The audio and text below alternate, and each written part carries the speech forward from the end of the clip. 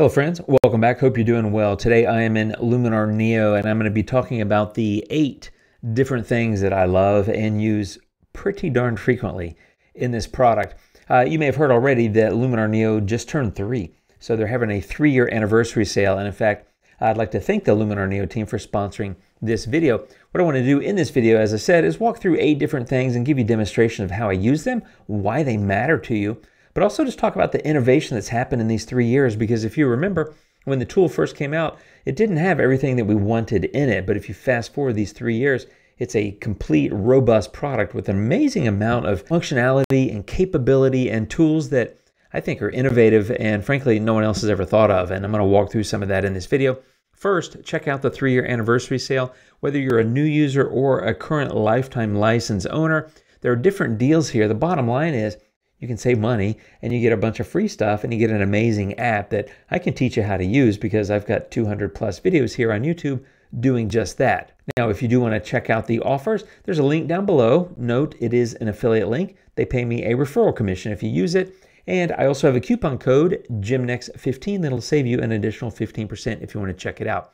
Again, thanks to the Luminar team for sponsoring this video. And what I want to do is walk through the different things that I like to use the most in Luminar Neo and why they matter and why they're useful to you, show you how to take advantage of them. So let's start with feature number one. That's Relight AI. So that's in the creative tools. I've got a photo here. I've already done some editing. I've already brightened that, doing my typical one-two punch. That is develop raw and super contrast. Now, if you'd like to learn more about how I approach editing in Luminar Neo, I've got a free ebook that I offer on my website to anyone that subscribes to my newsletter. That link is down below. Check that out if you'd like to. But Relight AI it's essentially uh, a like a linear gradient that allows you to adjust the temperature, which is down here, as well as the brightness, either near or far, and you get to define that with this depth slider. So for example, if I want to brighten this foreground a little bit, I can just drag, I'm going to drag it pretty high just to make it obvious. I'm going to drag the brightness near slider, and you can see there's basically a line right there, and that's where depth comes in, where I can lift that and drag that brightness to where it's a little bit more aligned with the horizon, like that.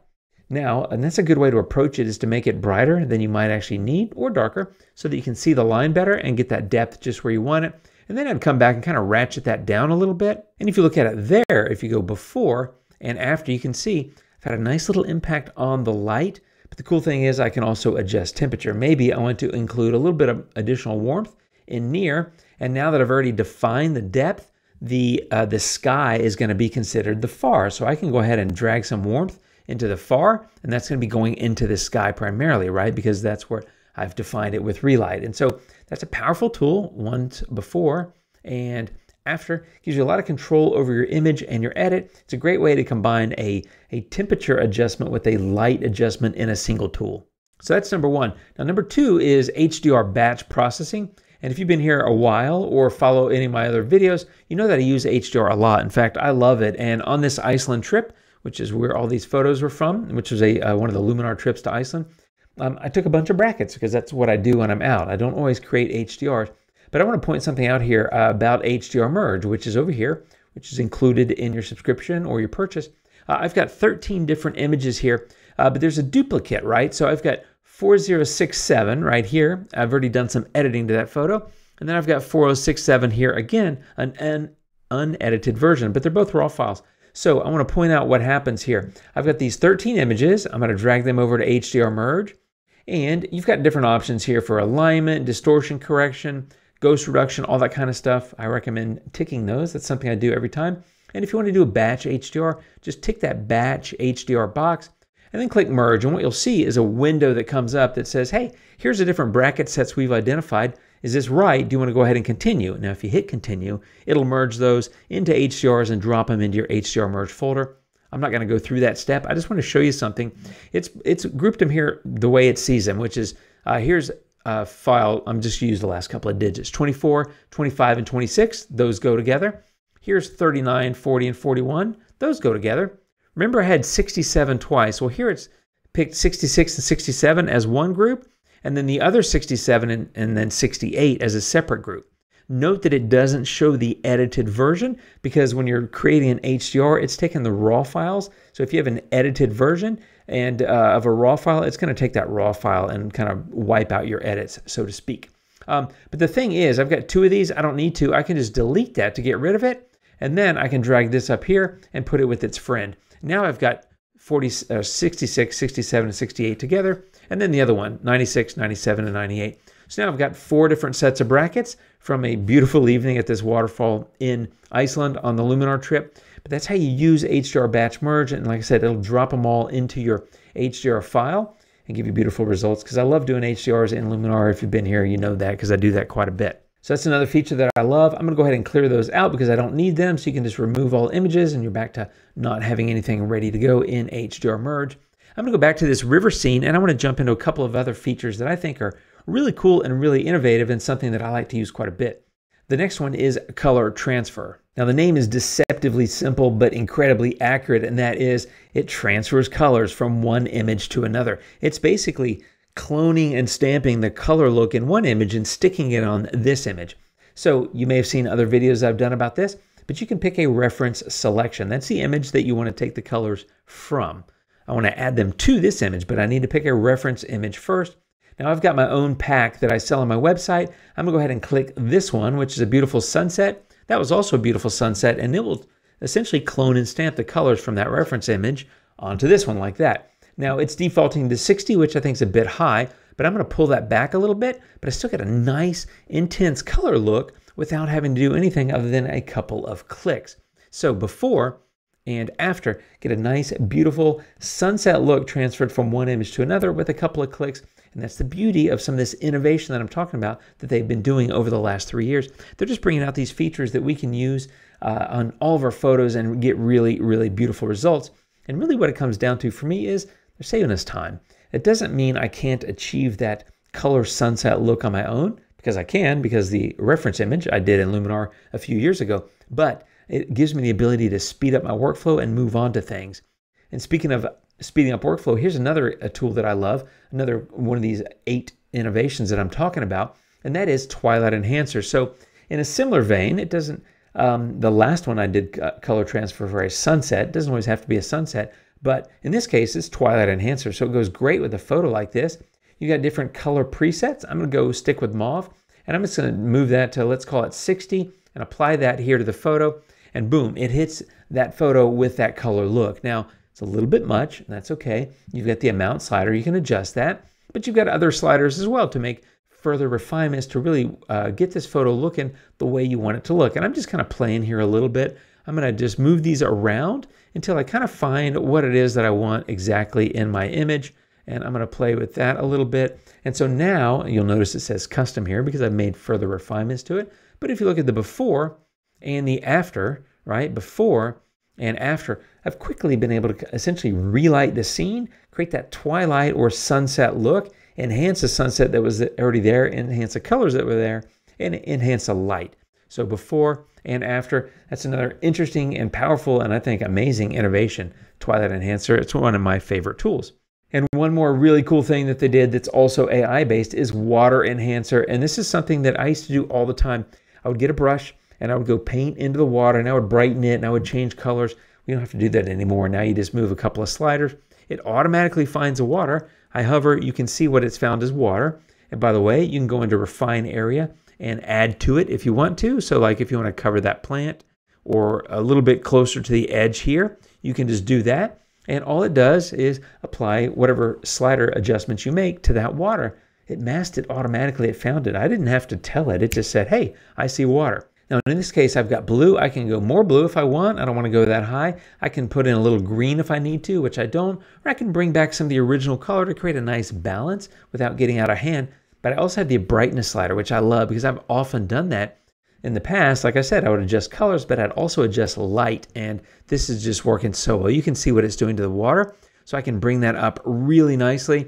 I don't need to refine the area anymore, but I've got a beautiful look here, I think, to that water and I might do a little bit more. So if you go before and after, you get that nice look to the water.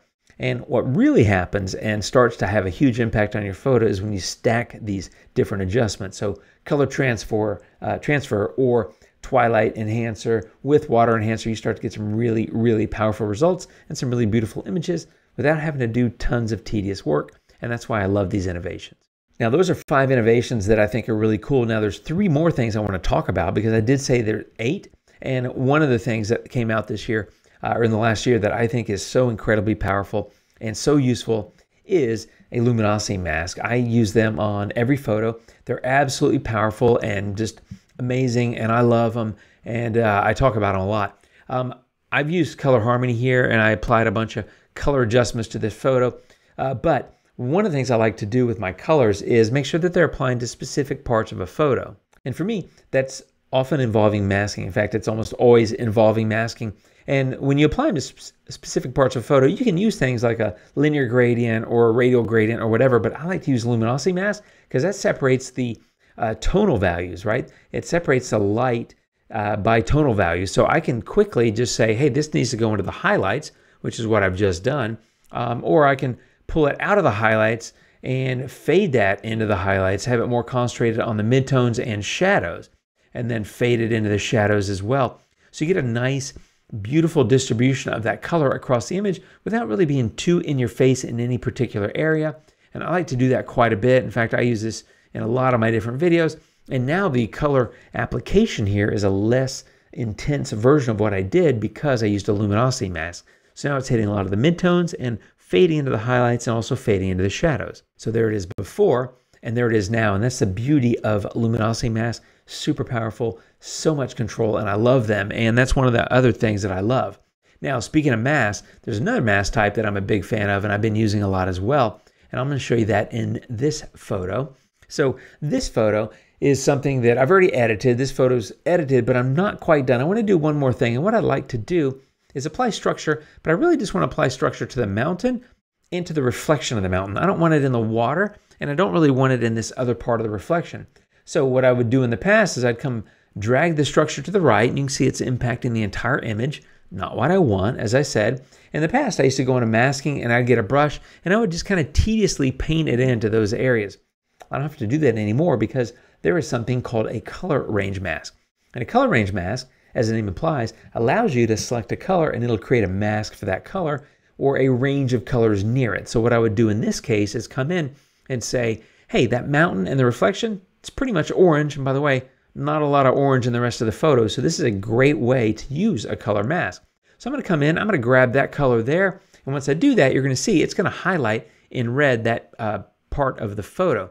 Now it's missed some of these. And so you can either contract or reduce, right, the amount or the range, but you can also increase it. So by increasing it, I'm going to pick up more and more of that. Now it gets a little bit over here in the sky. That's fine. But if you look at my mask, now if you look at the before and after, I've nearly perfectly gotten the area that I wanted. Now it is overlapping a little bit over there, so that's where you can come in with a brush and an eraser, and you can just come in here and erase those little bits uh, wherever they might be overlapping into an area you don't want, including down here. Maybe I don't want that, and maybe I don't want that little bit there. But there you go. I mean, quick and easy, so much quicker and so much easier than it used to be. So before and after. And the other innovation that I love, and I love masking, if you've been here before, you know that, and that is object select masking, which works great on landscapes and cityscapes for you to grab something and brighten it or add structure or whatever, but it also works on wildlife. And so let's say, in this case, again, slightly edited this photo with my one-two punch, develop raw and super contrast, so before and after, before and after. Uh, not a very big uh, adjustment, but I want to add structure to that horse that's white, right? Uh, now, if I add structure to the whole photo, I start getting a little bit of grain in the background, and this guy's nicely out of focus, I think, because I'm really focused on this rock star looking horse in Iceland. But I, I don't really like the structure there, and again, this is where masking comes in. And in the past, I would go in with a brush mask and brush it, but now with Object Select, you can come in and you can just hover your mouse over the horse, and it highlights it in red. I click it once to select it, it turns dark red, and there we go, my masking is done. So now my structure applies just there, and that background and that other horse blissfully untouched by that mask. So before and after, and that's another innovation. So those are the eight things that I think about, use, talk about, uh, and love in Luminar Neo. And three years later, I mean, it's been game changing innovation and some amazing, powerful tools that allow you to edit more accurately, more quickly, have more fun doing it. That's why I love Luminar Neo and have so much fun with it. Check out the three year anniversary special offer at the link below. Don't forget to check out my free free ebook as well. I'll be back soon, my friends, with more videos. If you have questions, leave them down below. Thanks for watching. I'll see you soon. Until next time, adios.